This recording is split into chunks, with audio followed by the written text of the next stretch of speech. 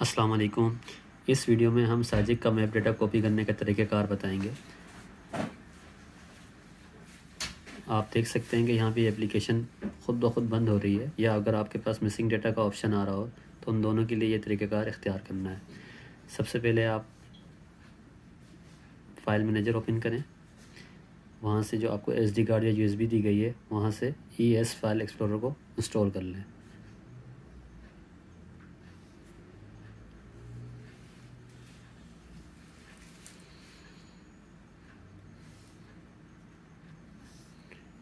उसके बाद file explorer को ओपन कर लें। और यहाँ से आपके पास लोकल का ऑप्शन मौजूद है लोकल को सिलेक्ट करें और यहाँ से एक्सटेंडेड एसडी कार्ड या यूएसबी आपके पास होगी तो उसका ऑप्शन आ रहा होगा, उसको आपने सेलेक्ट करना है। फिर यहाँ पर आपके पास साजिक मैप डेटा का फ़ोल्डर आ रहा है, इसको ओपन करें और Sygic P N D in dash के फ़ोल्डर को कॉपी करें। जब आप लॉन्ग प्रेस करके रखेंगे उंगली को तो यहाँ पर आपके पास ये ऑप्शंस नज़र आएँगे। इसको हमने कॉपी कर लिया। फिर यहाँ से आपने होम को सिलेक्ट करना है नेविगेशन बार से, और यहाँ पर इसको पेस्ट कर देना है।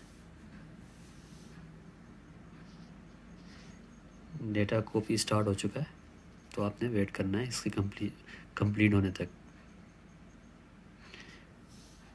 यहाँ पे डेटा जो है वो सक्सेसफुली कॉपी हो चुका है।